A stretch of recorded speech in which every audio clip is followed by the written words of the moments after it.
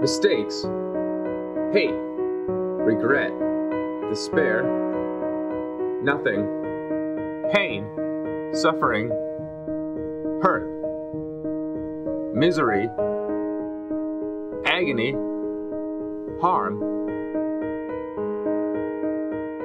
What if I was never born